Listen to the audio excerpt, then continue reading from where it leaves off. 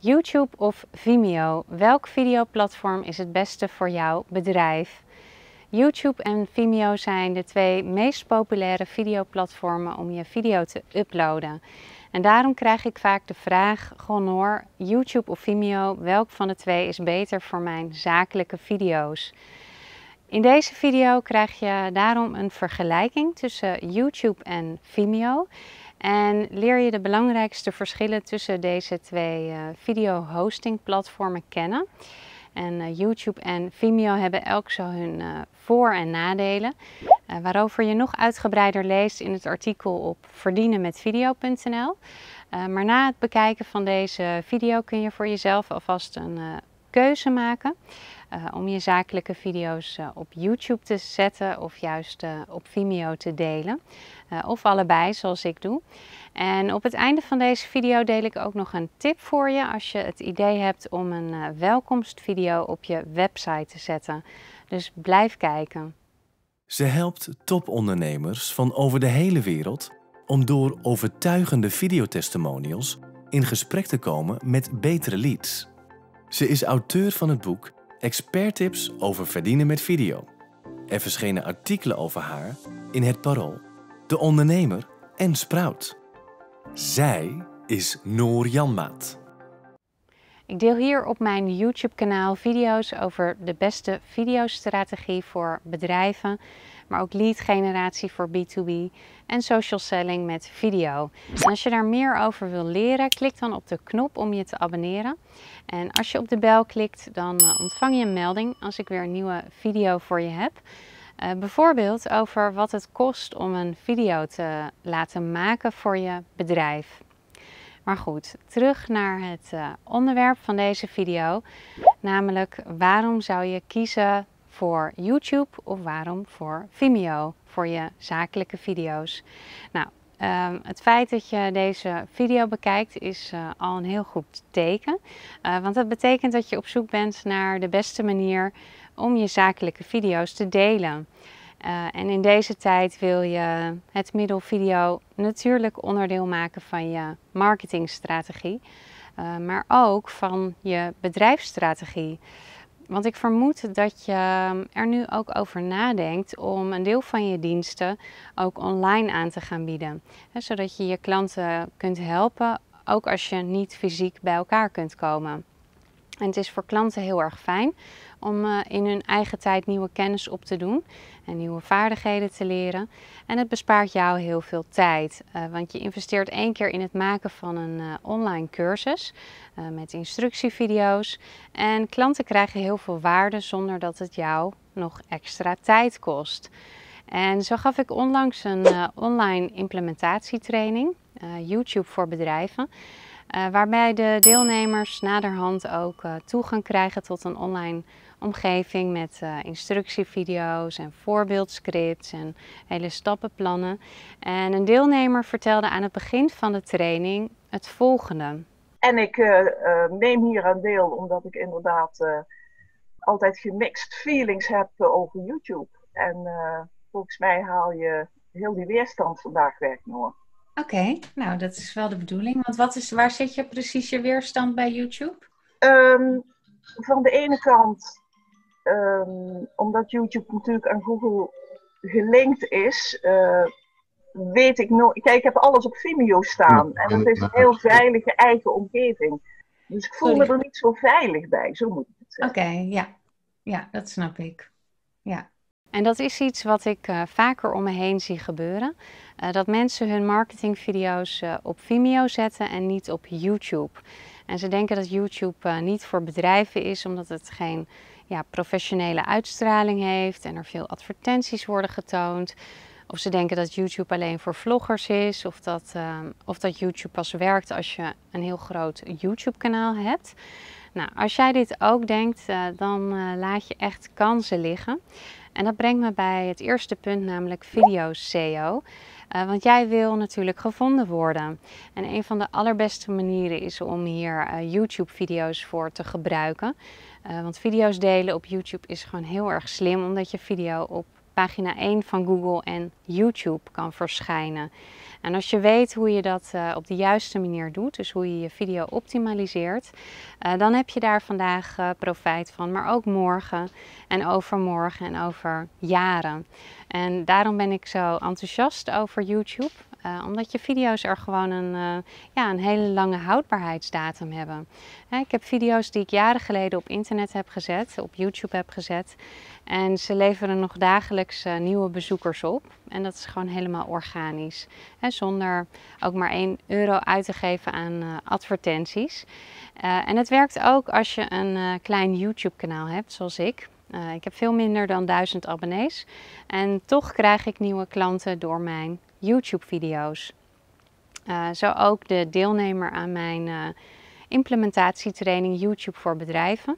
we hebben elkaar nog nooit uh, in levende lijf ontmoet. maar ze heeft op een bepaald moment een van mijn video's op internet gezien. ze is op mijn lijst gekomen. Ze is mij blijven volgen via mijn nieuwsbrieven. En ze is klant geworden.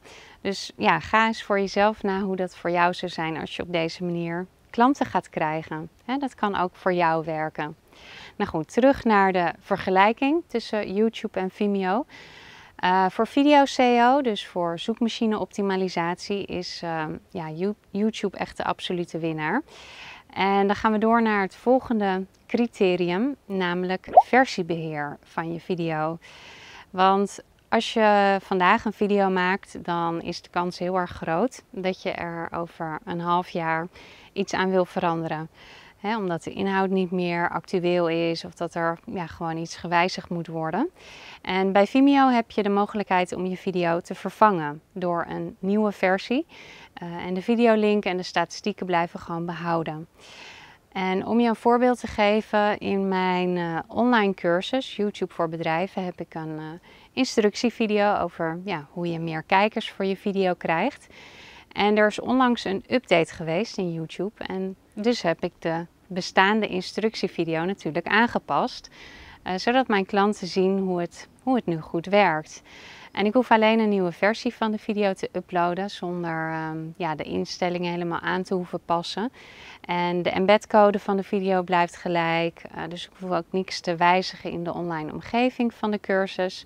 En de statistieken blijven ook uh, behouden. dus dat is ideaal. Terwijl als je je video op uh, YouTube zet en je wil er iets aan wijzigen, dan ja, kun je twee dingen doen. Je kunt de originele versie van je video um, laten staan en een nieuwe versie uploaden. En de reacties en de weergaven en alle statistieken die, die blijven dus behouden. maar je hebt dan alleen wel twee video's over hetzelfde onderwerp. Nou, de tweede optie is om je originele versie van je video te verwijderen. Maar goed, daarmee verlies je natuurlijk ook de, alle reacties en de statistieken. Uh, die gaan allemaal verloren. Maar je gaat dan een nieuwe versie van je video uploaden en die ga je optimaliseren voor bepaalde zoekterm, zoektermen waarop je gevonden wil worden. En uh, voor versiebeheer van je video is, uh, is Vimeo dus de winnaar wat mij betreft. Omdat je heel gemakkelijk een video kan vervangen door een nieuwe video. Nou, dan gaan we door naar het volgende punt. Uh, YouTube of Vimeo op je WordPress website. Als je een website voor je bedrijf hebt, dan is de kans heel groot dat het een WordPress website is. Uh, en op je website wil je natuurlijk een video hebben staan, zodat mensen jou vast kunnen ontmoeten en jou leren kennen. En hoewel het wel mogelijk is om een video te uploaden in je WordPress website zelf, is WordPress er natuurlijk niet voor gemaakt om video's te hosten. En jouw hoge kwaliteit video's zijn natuurlijk meestal grote bestanden.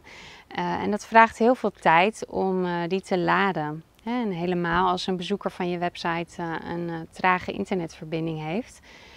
Um, dus video's uploaden in je WordPress website zelf kan ik je daarom afraden, want dat maakt je website heel erg traag. En je wil juist een snelle website hebben, hè, om de bezoekers van je website ook een goede ervaring te geven.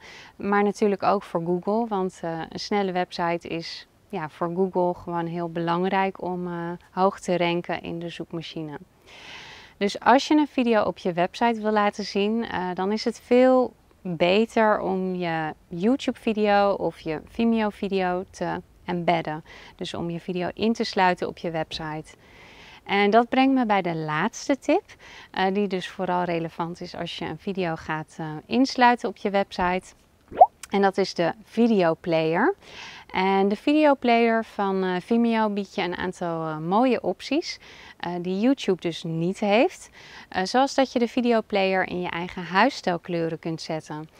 dus je geeft het kleurnummer op en de videoplayer past dan helemaal in de look en feel van jouw branding. En je kunt ook je logo toevoegen aan, aan de videoplayer. Uh, en deze klikbaar maken naar, naar je website of naar een speciale landingspagina. En dat geeft natuurlijk een hele ja, professionele uitstraling. En ja, de, de videoplayer van, uh, van YouTube heeft al die opties niet. Dus ja, goed, YouTube of Vimeo, welke ga jij kiezen? Dat, uh, dat hangt er dus helemaal vanaf welk doel je wil bereiken met je video's. En als je goed gevonden wil worden, dan, uh, ja, dan wil je je marketingvideo's zeker op uh, YouTube zetten. En daarom staan al mijn marketingvideo's op YouTube. En alle instructievideo's voor klanten die staan allemaal op Vimeo. Dat is wel zo overzichtelijk. Dus ja, dit was hem. Uh, een compleet overzicht met de vergelijking tussen YouTube en Vimeo vind je op mijn site verdienenmetvideo.nl. En uh, abonneer je op mijn YouTube kanaal om een melding te krijgen als ik uh, weer een nieuwe video voor je heb over videomarketing. En als je nou mensen uit je netwerk kent die geholpen zijn met deze informatie, deel deze video dan. dat waardeer ik enorm. En als er een onderwerp is waar je graag een video over wil zien, uh, laat het me dan even weten in een reactie onder deze video. En uh, nou, bedankt voor het kijken naar deze video en ik zie je graag weer in de volgende video.